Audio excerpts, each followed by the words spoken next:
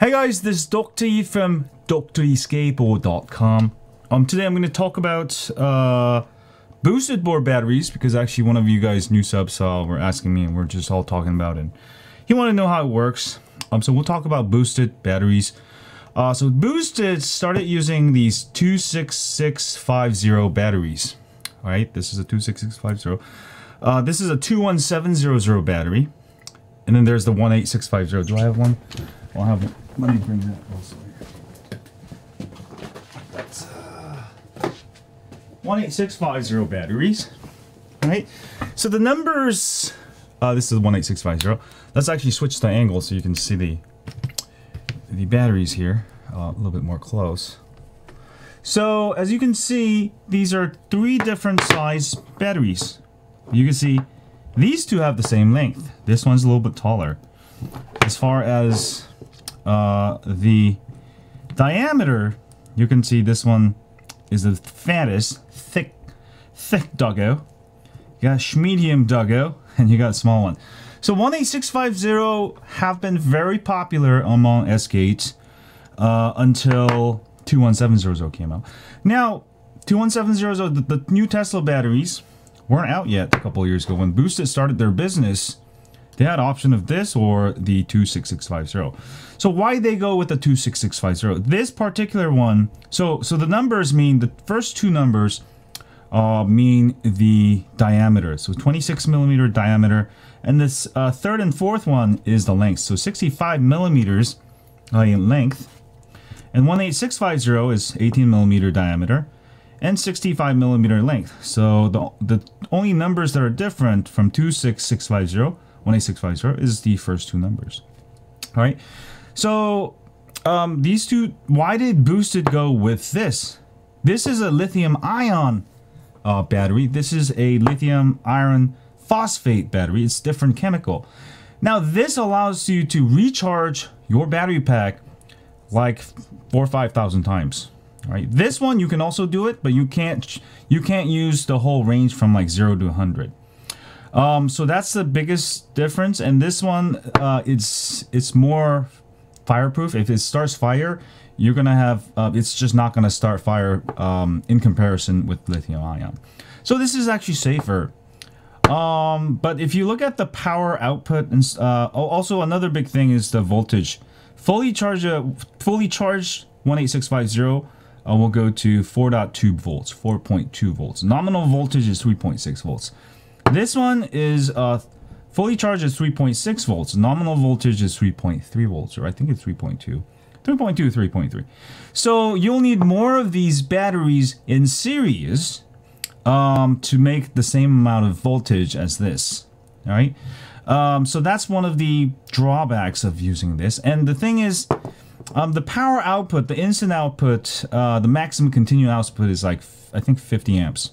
So each cell can handle a ton of amps without getting hot, without degrading a battery. So this is actually a really good cell. But the problem is the size. It's almost a double the size in volume. So you end up, you know, you look at the Boosted Mini, uh, the battery battery size is huge. You can make the same capacity way smaller with 18650. Um, but I think it was a it was a choice that made, and I think that's part of the reason why they went out of business because they went with this battery that there's only like one company that makes this A123. Whereas with 18650, you know, a, a, ton of companies make it. It's really, it's the price has dropped. This hasn't really dropped in price. This is like still 60, 655 per cell. This, the 18650, you can pick it up for like dollar or two if you buy a ton of it. So the price is also another reason, in my opinion, Boosted went out of business because they went with a cell that's not widely used. So over time, they're still paying the same amount for the batteries while all the other company using 18650, they're saving money, making more profits. Um, so this is a good battery. Uh, it's got a lot of power, but again, it makes your volume of your board much, much bigger. Now, the weight, I think it's actually about the same. Uh, we can weigh it next time. I don't know where my my weigh, weighing thing is. Um, so yeah, so this this this is a pretty light battery, but the problem with uh, lithium iron phosphate is that it takes up a ton of room. So you end up the reason why boosted doesn't have like super big range. Like most of my boards like now do like 20 mile range, 25 miles. Boosted, their best one comes, you know, is like 14 miles or something. Right? Um, so their battery tech is just not. It was designed way early. I mean, they were pioneers of electric skateboards. Um, but they never followed up. They didn't have a version 2. They didn't have an extended range. They could totally make one like that go 25, 30 if they use another battery pack. But they use the same battery pack on their, uh, same battery cells on all their boards. Um, so yeah, that's the, the biggest difference. Um, so for skateboards especially, you need small batteries. You need to be able to customize it. And this just doesn't make sense. You need the, more of these in uh, series to make the same voltage as a 18650. Now, here's where the Tesla battery comes. Tesla's like, all right, we designed this new battery. Uh, that's a little taller, but it's a little fatter than the 18650. So what does this do? This, this is like the problem solver. Uh, basically, it's a little bit bigger than 18650, but it's not as, uh, like, it's not thick doggo like this one. So what this does is uh, it packs a ton, almost twice the power, more than twice the continuous output. Uh, the 30Q, not this one, but 30Q, the, the, the real popular one, 18650 batteries, they use uh, maximum output of 15 amps. You can do 20, but it's rated for 15. This, the 40T is rated for 35 amps. Um, and if you if you have cooling, if you stay under 85 degrees, you can also do 45. But according to Mooch, this is about 30 at most. Uh, this is 20. So almost double the power outputs. Um, slightly bigger out uh, battery. All right, so that's where it comes in, and you can basically it's more power dense than 18650. So you can build batteries that are smaller but way more powerful uh, with more capacity. So most electric skateboarders are moving to uh, companies are moving to the Samsung 40T um, or or Tesla batteries.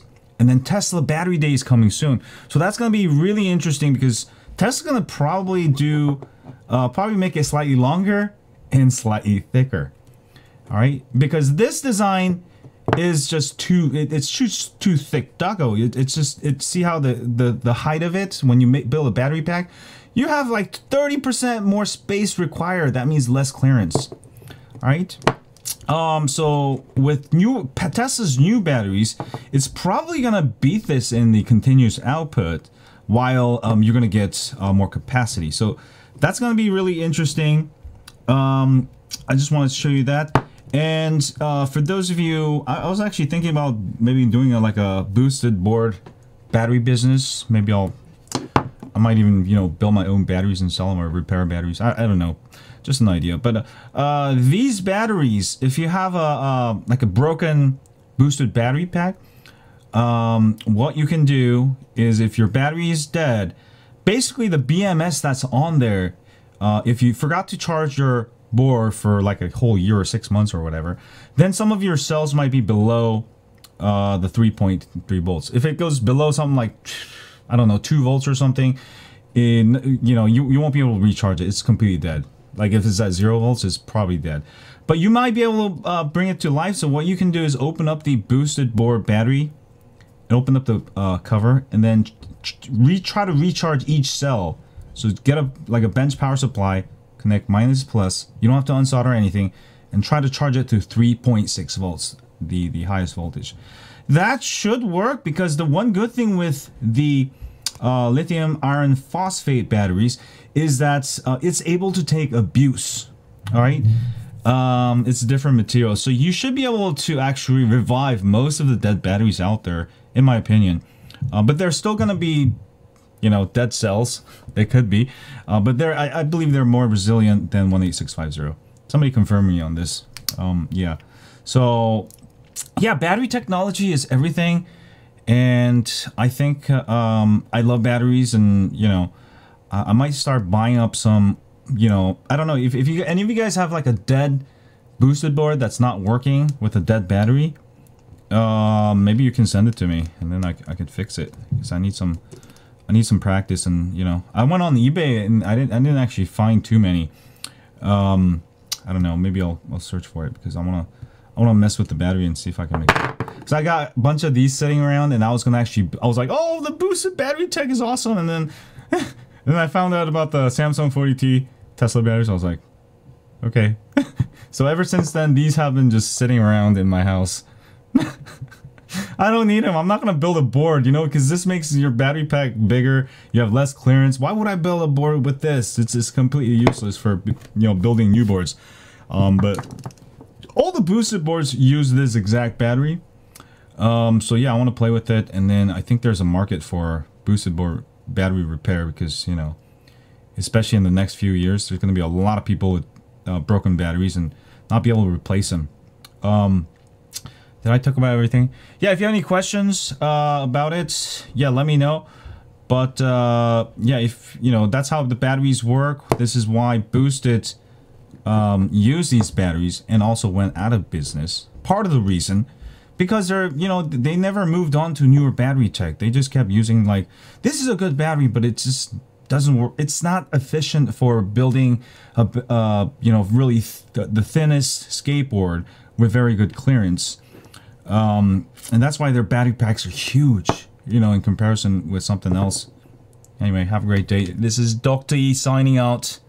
I'll see you guys on the next one. Have a great day. And, uh, yeah, that's it. Bye-bye. Bye. -bye. Bye. batteries. I freaking love batteries.